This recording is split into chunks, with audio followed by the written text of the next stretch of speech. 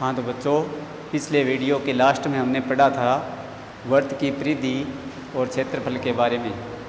वर्त के पार्टों के बारे में पढ़ा था। एक बार फिर से बता देता हूँ मैं कि वर्त किसे कहते हैं? समतल में एक शिथिर बिंदु से ये शिथिर बिंदु है।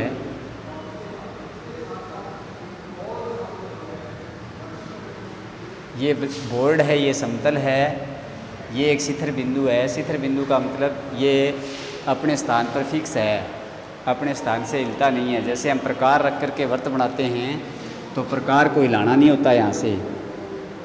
तो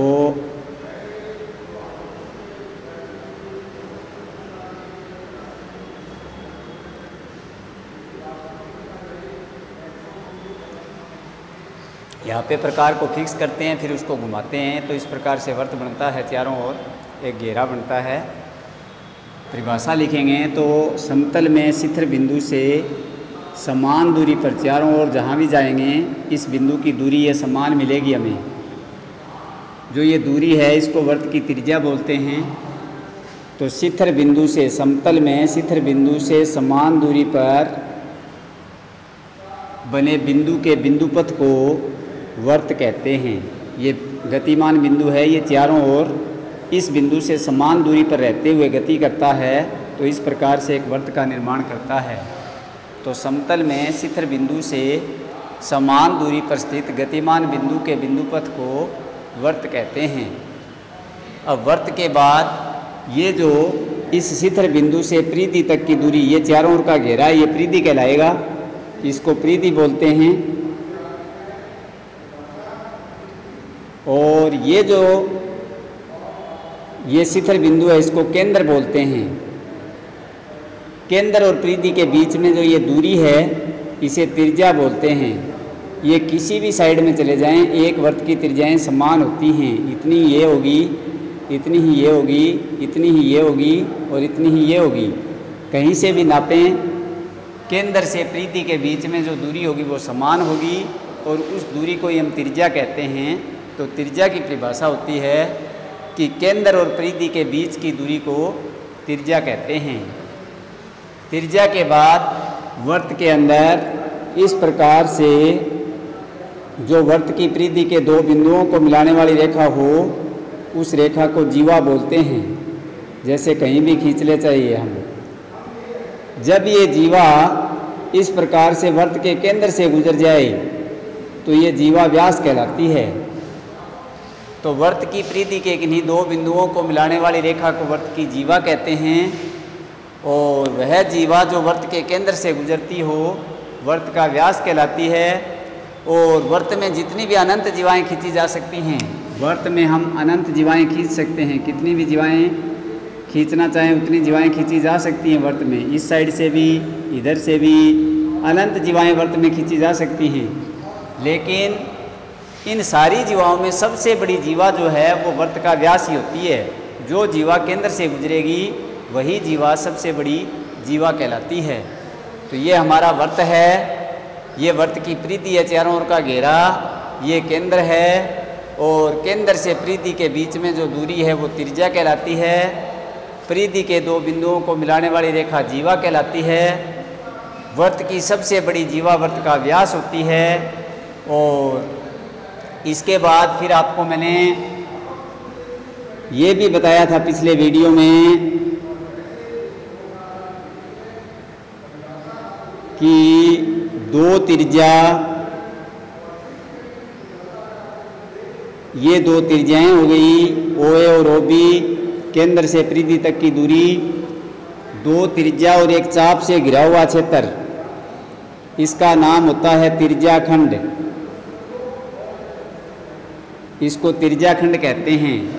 इसको अगर अलग से चित्र को हम देखें तो ये ऐसा चित्र है। दो तिरजा हैं और एक चाप है। दो त्रिज्या और एक चाप से घिरे हुए बंद क्षेत्र को त्रिज्या खंड कहते हैं। त्रिज्या खंड इसका नाम है त्रिज्या खंड अब त्रिज्या खंड में दो त्रिज्या खंड होते हैं। एक तो लघु त्रिज्या खंड होता है, एक नंबर होता है लघु तिरजाखंड एक होता है दीर्घ तिरजाखंड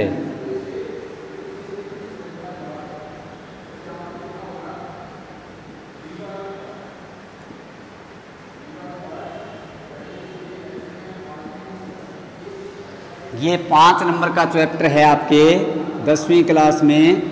पाँच नंबर के प्रश्न आते हैं इस चैप्टर में से। एक तो प्रश्न आता है दो नंबर का और एक प्रश्न आता है तीन नंबर का। तो कुल मिलाकर के पाँच नंबर का टॉपिक है। इस चैप्टर को अच्छी तरह से ध्यान से पढ़ें, समझें। यदि पूरा टॉपिक क्लियर हो जाए तो पाँच नंबर का काम कंप्लीट हो जाएगा।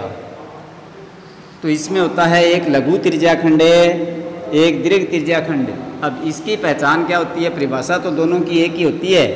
कि दो त्रिज्या और एक चाप से घिरे हुए भाग को त्रिज्याखंड कहते हैं। बात करते हैं लघु त्रिज्याखंड की तो जो यहाँ पर कोण बनता है, जिस त्रिज्याखंड का कोण 180 से छोटा होता है, जिस त्रिज्याखंड का कोण यहाँ का 180 से छोटा होता है, वह लघु त्रिज्याखंड कहलाता है। और जिस त्रिज्याखंड का, जैसे इसमें दो त्रिज्याखंड है, नीचे वाला चित्र मैंने यहाँ निकाल दिया, बड़े वाले चित्र को मैं ऊपर निकाल देता हूँ। इस प्रकार से आपके सामने ये बड़े वाला चित्र है, जो ये है। इसे जब कोण नापते हैं तो यहाँ से नापा जाता है। अगर इस कोण का मान 180 से बड़ा हो तो यह कहलाता है दीर्घ त्रिज्याखंड। तो दीर्घ और लघु का पता चलता है कोण को देखकर। बाकी त्रिज्याखंड तो दोनों ही हैं, ये भी त्रिज्याखंड है, ये भी त्रिज्याखंड है, क्योंकि ये भी दो त्रिज्या और एक चाप से घिरा हुआ क्षेत्र है, ये भी दो त्रिज्या और एक चाप से घिरा हुआ क्षेत्र है। इसका चाप छोटा है, चाप छोटा है तो कोण भी छोटा होगा, इसका चाप बड़ा है, चाप बड़ा है तो कोण भी बड़ा होगा। तो ये हो गया दीर्घ त्रिज्याखंड और ये हो गया लघु त्रिज्याखंड। अब त्रिज्याखंड के बाद आपके टॉपिक आएँगे इसमें वर्तखंड इस प्रकार से जैसे ये वर्त है, वर्त के अंदर जैसे हम जीवा खींचते हैं तो वर्त को दो भागों में विभाजित करती है। एक भाग तो हो गया ये छोटे वाला, ये तो कहलाएगा लघु वर्तखंड एक भाग हो गया ऊपर का बड़े वाला, ये हो गया दीर्घ वर्तखंड ये तो हो गया लघु वर्तखंड क्योंकि छोटा वर्त का भाग है ये, और ये ऊपर वाला वर्त का बड़ा भाग है, इसलिए ये हो गया दीर्घ वर्तखंड इसको बोलते हैं? लघु वर्तखंड। और इसको बोलते हैं दीर्घ वर्तखंड।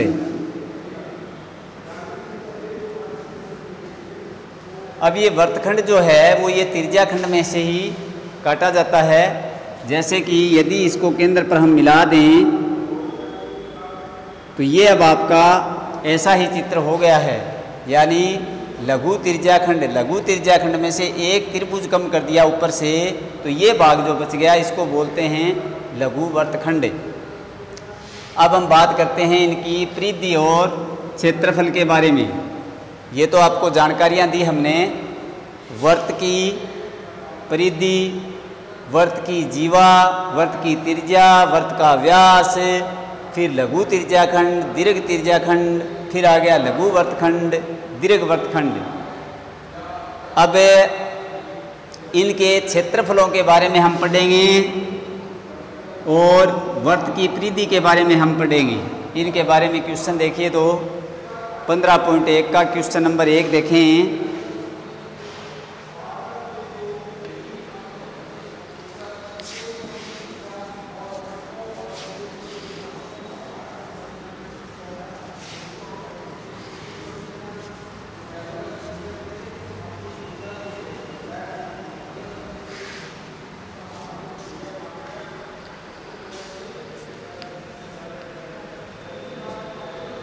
क्वेश्चन नंबर एक है।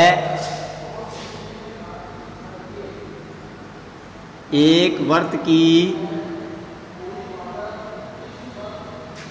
त्रिज्या तीन पॉइंट पाँच सेमी है।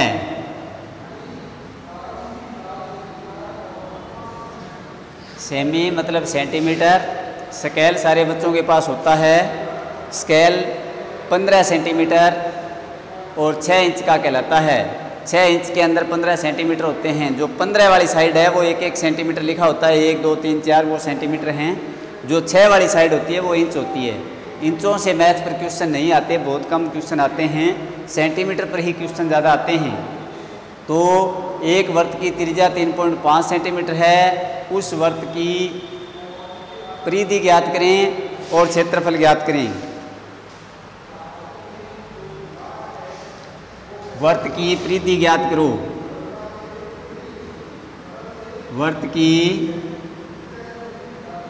प्रीति ज्ञात करो। ये क्वेश्चन है हमारे पास। बिल्कुल सिंपल सा क्वेश्चन है। जैसे ये कोई वर्त है, इस वर्त के चारों ओर का जो घेरा है, इसकी लंबाई बतानी है। क्योंकि गोलाई में नापना मुश्किल होता है। ज्ञात करना आसान होता है, इसलिए फॉर्मूले से इसकी परिधि को हम ज्ञात कर सकते हैं। अगर हमें इसको नाप कर बताना हो तो एक कट लगा करके जैसे वर्त में, जैसे ये कोई तार से बना हुआ वर्त है, इस तार को यहाँ से काट लिया, काट करके सीधा कर लिया, फिर इसको हम नाप करके देख सकते हैं कि इसकी चारों ओर की लंबाई कितनी है। बाकी यदि हमें सूत्र से निकालना हो तो इस प्रीति को ज्ञात करने के लिए वर्त की प्रीति ज्ञात करने का सूत्र है टू पाई आर। सूत्र सारे एक साथ दिखा देता हूँ मैं, जो पूरे चैप्टर में लगेंगे। वर्त की प्रीति ज्ञात करने का सूत्र है टू पाई आर। वर्त का क्षेत्रफल ज्ञात करने का सूत्र है पाई आर की स्क्वायर। अर्धवर्त का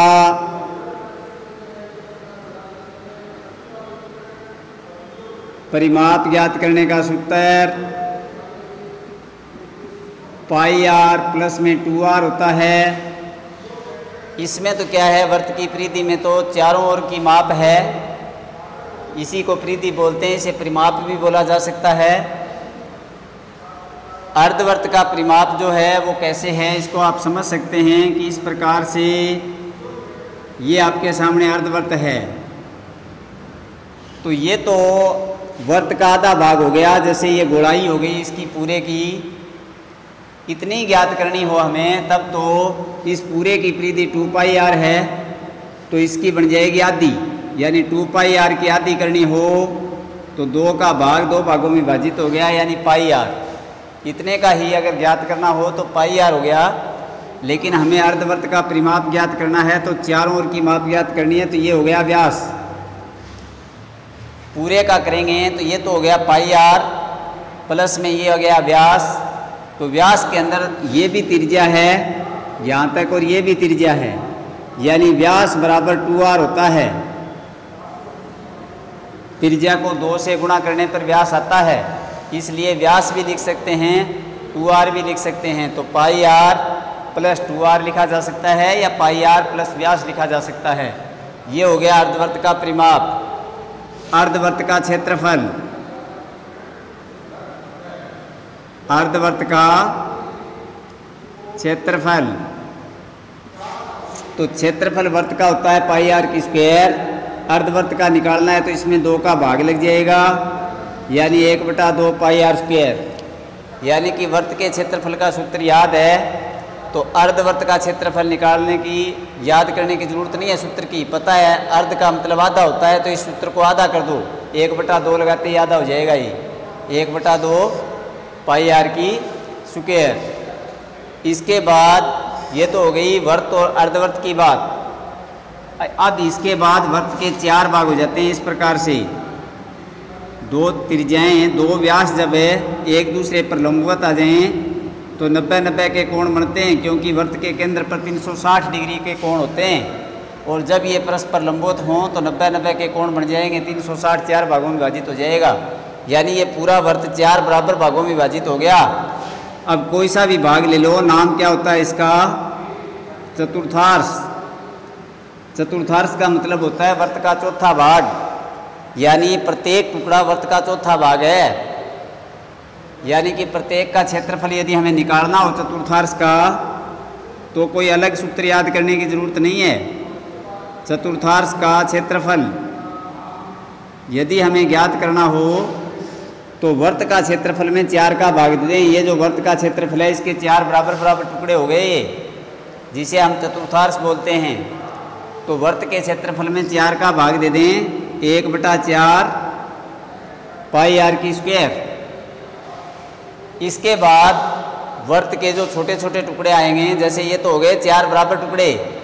अब वर्त के छोटे बड़े टुकड़े आएँगे, जिनका नाम मैंने आपको लिखाया था।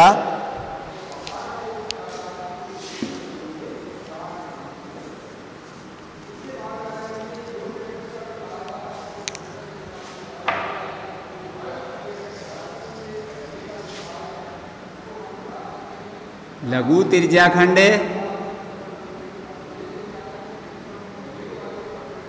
और लघु तिरजाखंड का क्षेत्रफल। तो इसका सूत्र होता है एक तो पाई आर की स्क्वायर थीटा बटे में 360 डिग्री, और एक सूत्र और होता है लघु तिरजाखंड का।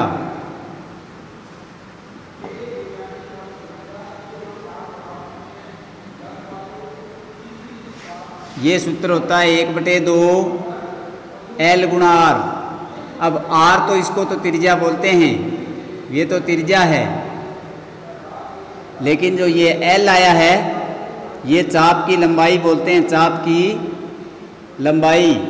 यानी अगर हिंदी में इस सूत्र को हम लिखें संकेत की बजाय तो ऐसे लिख सकते हैं कि एक बटे दो गुणा में चाप की लंबाई गुणा में तिरजा अब बात करते हैं हम चाप की लंबाई की तो ये मान लीजिए, ऐसा चित्र आपको मैंने पहले बताया कि ये होता है लघु तिरजाखंड इसके अंदर ये तो तिरजा होती हैं, और ये होता है चाप। अब जब आपके पास तिरजा और चाप की लंबाई का पता हो तो ये सूत्र लगाया जा सकता है।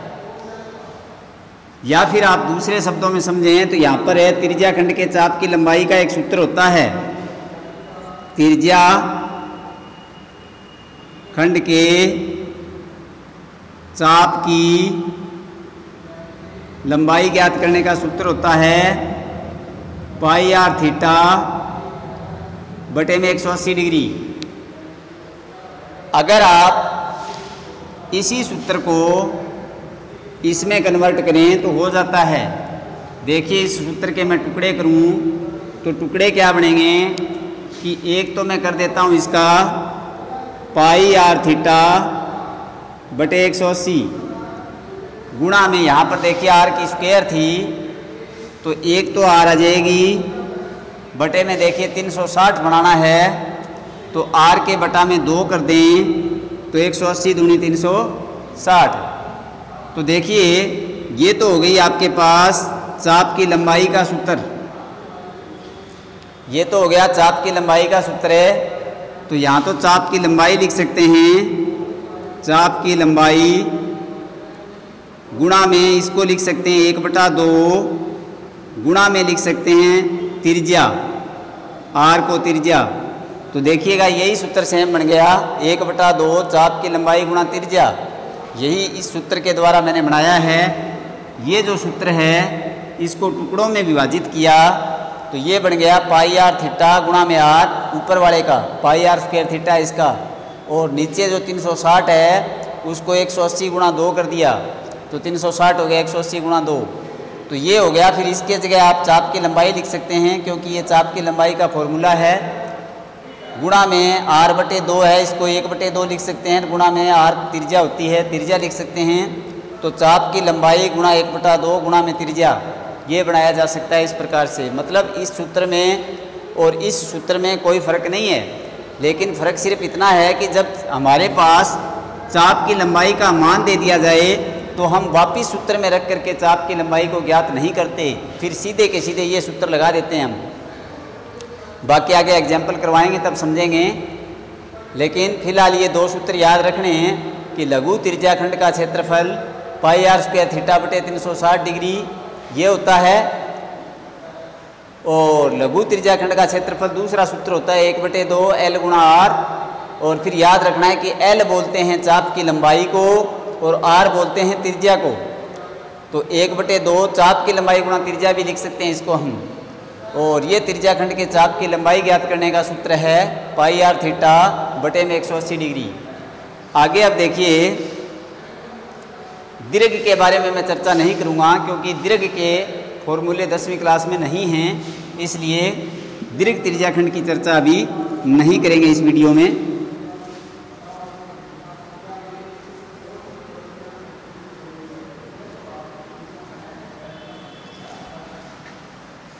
आगे सूत्र आते हैं हमारे, लघु वर्तखंड का सूत्र।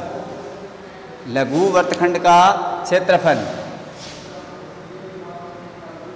लघु वर्तखंड का क्षेत्रफल। तो लघु वर्तखंड का क्षेत्रफल देखिए, पहले चित्र के द्वारा समझिए कि ये एक वर्त है। वर्त के अंदर ये दो त्रिज्याएँ हैं। ये जो पूरा भाग है, इसे हम त्रिज्याखंड बोलते हैं।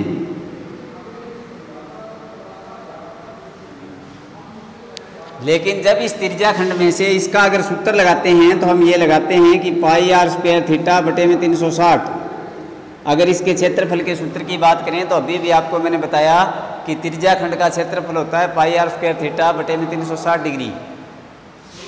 इसमें देखिए, एक जीवा खींच देता हूँ मैं यहाँ पर। है जीवा खींचने पर ये देखिए, ये जो भाग बन गया, ये है आपका लघु वर्तखंड। अब लघु वर्तखंड का क्षेत्रफल ज्ञात करें तो इसी से बन जाएगा, देखिए, एक त्रिभुज माइनस हो गया इसमें से।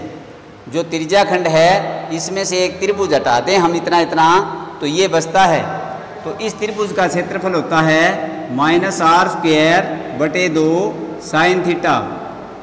तो फिर लघु वर्तखंड का क्षेत्रफल हो गया पाई आर स्क्वेयर थीटा, बटे में 360 डिग्री, माइनस में आर स्क्वेयर, बटे में दो, साइन थीटा। अब यदि हमें लघु वर्तखंड का क्षेत्रफल ज्ञात करना होगा तो यहाँ पर थीटा के स्थान पर मान आएँगे।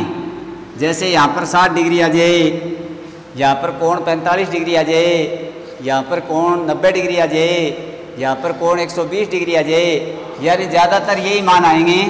दसवीं क्लास तक यही मान आते हैं। 45 degree 30 degree 60 degree 90 degree 120 degree. इससे ज़्यादा मान दसवीं क्लास के टॉपिक में नहीं आएँगे। तो ये एंगल जो है, ये कभी 45 का जाता है, कभी 30 का जाता है, कभी 60 का, कभी 90 का, कभी 120 का, क्योंकि लघु वर्तखंड का कोण 180 से छोटा होता है। और आपके 120 से ज़्यादा का कोई मान नहीं आएगा ये मान आते हैं ज़्यादातर। तो इनके मान आपको याद रखने पड़ेंगे। साइन 30, 45, 60, 90 और 120 तक।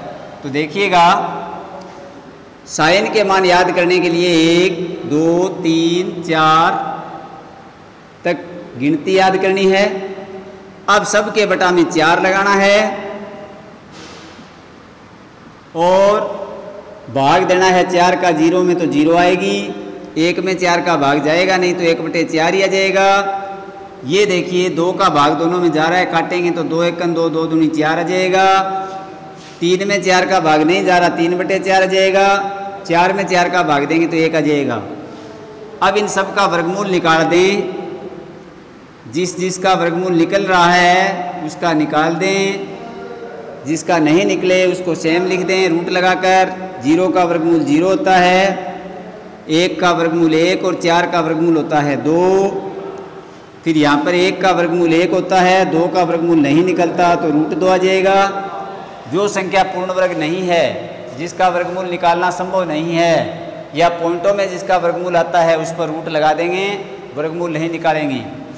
जैसे तीन का वर्गमूल नहीं निकलता तो रूट तीन आ जाएगा। चार का वर्गमूल दो आ जाएगा, एक का वर्गमूल एक आ जाएगा।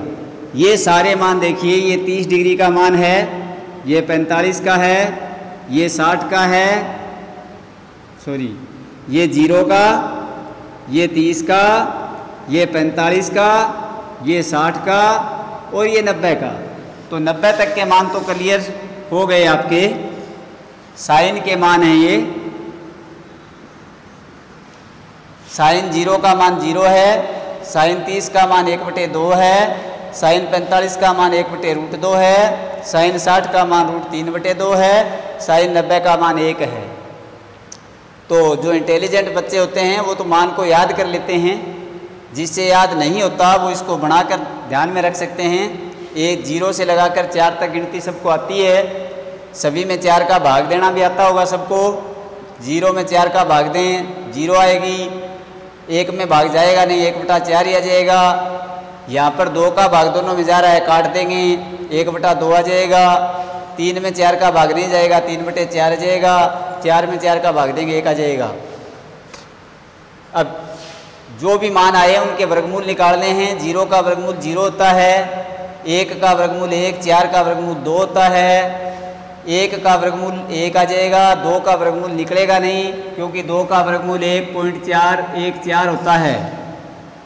रूट दो का मान एक पॉइंट चार, एक चार, ये होता है, पॉइंटों में वर्गमूल आता है, इसलिए पॉइंटों में निकालना नहीं है तो रूट दो ही लिख देंगे।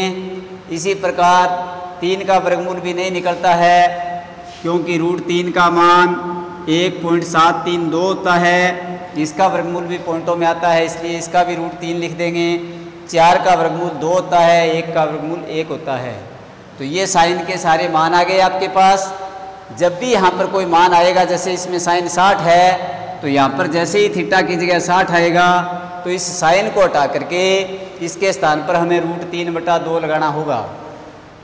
तो इस प्रकार से लघु वर्तखंड के क्षेत्रफल का सूत्र है ये, पाई आर स्क्वेयर थीटा बटे तीन सौ साठ, माइनस आर स्क्वेयर बटे दो साइन थीटा।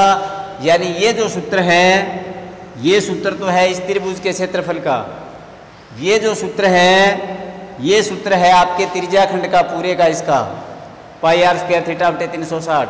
साफ़ दिखाई दे रहा है कि ये टुकड़ा निकालना है तो इस त्रिज्या खंड में से ये त्रिभुज माइनस करना होगा, तब ये आएगा। तो त्रिज्या खंड में से त्रिभुज का क्षेत्रफल माइनस कर दिया तो आ गया इस नीचे वाले टुकड़े का क्षेत्रफल, लघु वर्तखंड का क्षेत्रफल। दीर्घ वर्तखंड की चर्चा आगे वाले टॉपिक में करेंगे। देखिए तो अब इस चैप्टर के अंदर आपके केवल परिधि और क्षेत्रफल वर्त से संबंधित नहीं आएँगे। इसमें आपके सामने आयत भी आएगा, वर्ग भी आएगा। तो आयत और वर्ग के क्षेत्रफल भी, आयत और वर्ग के क्षेत्रफल भी हम करेंगे। देखिए आयत का क्षेत्रफल और वर्ग का क्षेत्रफल, आयत का परिमाप और वर्ग का परिमाप। चार सूत्र हम और पढ़ेंगे।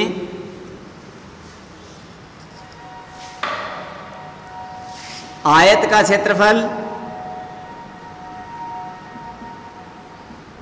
सभी जानते होंगे, आयत कैसा होता है? वह चतुर्भुज जिसकी आमने सामने की भुजाएँ बराबर हों, ये भुजा ये भुजा बराबर होनी चाहिए। जैसे ये पाँच सेमी है तो ये भी पाँच सेमी होनी चाहिए।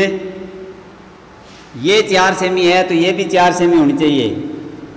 आमने सामने की भुजाएँ बराबर और प्रत्येक कोण नब्बे डिग्री का हो तो वह आयत होता है। और वर्ग की बात करें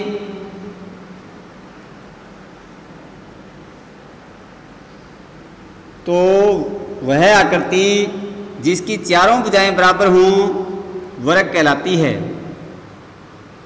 वर्ग ये ये ये ये चारों भुजाएँ बराबर होनी चाहिए, जैसे ये भी चार सेमी, ये भी चार सेमी, ये भी चार सेमी और ये भी चार सेमी और प्रत्येक कोण नब्बे डिग्री का। तो वह चतुर्भुज जिसकी चारों भुजाएँ बराबर हों और प्रत्येक कोण नब्बे डिग्री का हो तो वह वर्ग कहलाता है। आयत का क्षेत्रफल होता है लंबाई गुणा चौड़ाई। आयत का परिमाप होता है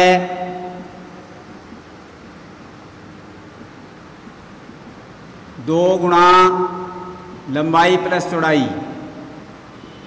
वर्ग का क्षेत्रफल होता है भुजा की स्क्वायर। वर्ग का परिमाप होता है चार गुणा भुजा। तो ये सारे सूत्र मैंने आज आपको कंप्लीट करवा दिए। इनके क्षेत्रफल के बारे में और जाप की लंबाई और परिमाप के बारे में नेक्स्ट वीडियो में हम पढ़ेंगे।